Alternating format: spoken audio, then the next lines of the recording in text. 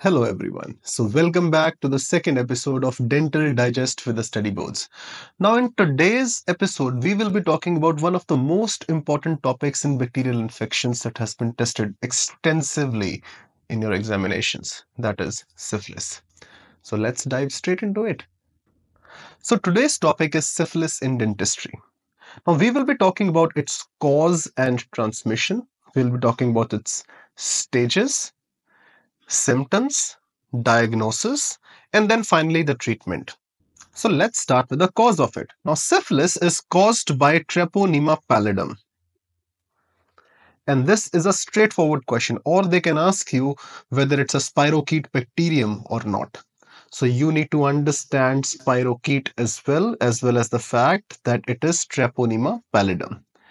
Next thing is the transmission. Now it could hmm. be transmitted from sexual contact, vertical transmission, vertical transmission as in from mother to the child, or direct contact with the infectious lesions. So this is regarding the cause and transmission of syphilis. Now next part is that we have to understand different stages of syphilis. So there are three main stages, primary, secondary and tertiary. So we will study one by one each of these stages in syphilis. Let's study about the primary stage of syphilis. The first point that you need to understand is regarding the incubation period, which is going to be anywhere between 14 to 21 days. And they will ask you a straightforward question, or they can ask you even in weeks, whether it is two to three weeks, three to four weeks, such kind of questions. The next thing that you need to remember is the classical sign, that is presentation of chancre. Now, there are two main points that you need to remember from this. The first one is that the patient presents with a painless, firm, and red ulcers that secrete very infectious fluid. And the second point is what are the common sites of chancre? That is genitals, oral cavity, cervix, and labia. Now, a patient who is suffering from primary stage has certain oral manifestations. So, what are those oral manifestations? These patients present with chancre on the lips, tongue, gingiva, or tonsils. And sometimes these are very painful as well because of secondary infections that can happen alongside. Now, let's study about the secondary syphilis. First point is regarding the onset. So the onset is 4 to 8 weeks after primary infection has happened. Now the next point is three classical signs that the patient will present to us with. The first sign is there are oral mucous patches and these patches are red, painless lesions. The second point is condyloma latum.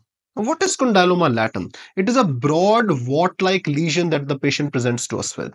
And the third one is maculopapular rash, which often happens on the palms and sole of the patient. Very important. Now, there are some certain oral manifestations as well that you could be tested upon. So, these are snail track ulcers or mucous patches that are seen on the palate or the buccal mucosa. There are some other symptoms as well that the patient can present to us with, like fever, malaise, generalized lymphadenopathy, arthritis, hepatitis, glomerulonephritis. But this is not important. You just have to remember maculopapular rash, condyloma latum. This is important. Okay. And what is the onset of it? Now, next is tertiary syphilis. First point we need to understand is the onset. So, it hmm. develops only in untreated cases. Now, there are some classical signs that we need to remember for tertiary syphilis. The first one is gumma. So, hmm. these are painless nodules that can ulcerate and cause tissue destruction. This is important. The second point is regarding CNS involvement, where the patient can present to us with neurosyphilis, which is even going to be potentially fatal at times. So very important. The third one is cardiovascular involvement, and this can lead to serious complications. So CNS involvement and CVS involvement. Then there are some oral manifestations like gummatous lesions in the oropharynx, which can be potentially causing perforations or even osteomyelitis. Now the next topic is very important, that is congenital syphilis. So congenital syphilis, it occurs when Treponema pallidum, the bacterium that is causing syphilis, it is transmitted from the infected mother to her baby during pregnancy or even during the childbirth. Now there are certain manifestations that we need to remember from the exam perspective. The first manifestation is Hutchinson's triad, which is specific for congenital syphilis. And there are three main things that come under this Hutchinson's teeth, interstitial keratitis, and sensorineural hearing loss. So first point is Hutchinson's teeth. So these are hypoplastic, notched or peg-shaped permanent teeth and these usually affect upper central incisors. This is an exam question. What teeth does it affect? Upper central incisors. Second point is interstitial keratitis. Now, interstitial keratitis is inflammation of the cornea leading to scarring, and this can cause vision problems or even blindness. And the third point is sensorineural hearing loss, that is progressive hearing loss due to the damage to the inner ear or the auditory nerve. And they can ask the straightforward question that where does the damage happen? That is damage happening to the inner ear or even auditory nerve. Now, the next point or next manifestation is mulberry molars. Now, mulberry molars are multiple rounded rudimentary enamel cusps on the permanent first molars. Permanent first molars. And second point is that they are also known as Moon's molars or Fournier's molars. Straightforward question could be tested on this. Now, congenital syphilis is further divided into two main types.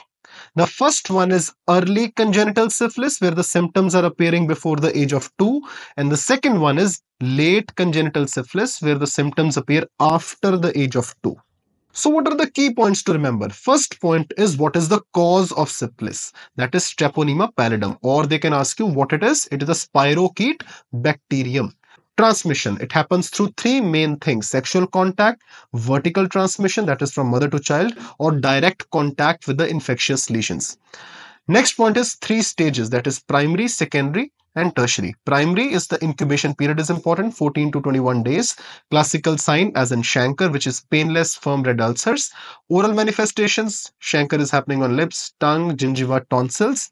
Then secondary syphilis, onset is 4 to 8 weeks after the primary infection.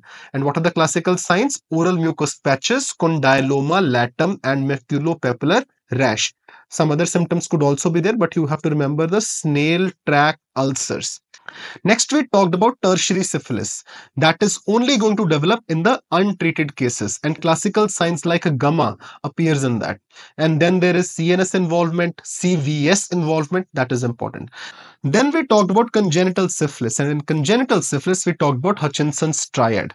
Hutchinson's teeth, interstitial keratitis and sensorineural hearing loss, which is a progressive hearing loss. Some other signs could also be seen like mulberry molars, also known as Fournier's or Moon's molars. Now for the diagnosis, you can do four main things. Either you can do rapid antigen detection test or you can do throat culture or you can do dark field microscopy or some serological tests could also be done. But you will not be tested about this in your exam. Now, prevention would be like safe sexual practices, safe blood transfusion methods, or even isolation of the infectious patients during primary and secondary stage. So they can ask you that what stages is the patient actually infective. So you have to understand isolation of such patients has to be done in primary and secondary stages. So that's pretty much it for today's episode on syphilis. Stay tuned for more such episodes in our oral pathology bacterial infection series in the Dental Digest with the study boards. And don't forget to like, subscribe and hit that bell icon for updates on our latest videos. Thank you so much for watching and see you next time. Take care.